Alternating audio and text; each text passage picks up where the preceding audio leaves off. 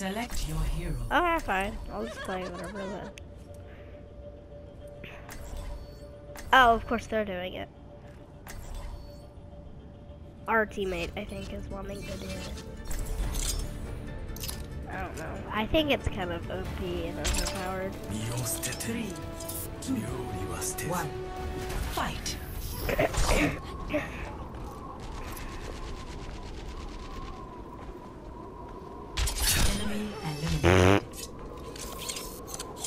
I literally deflected. So this Widowmaker came up to me, and I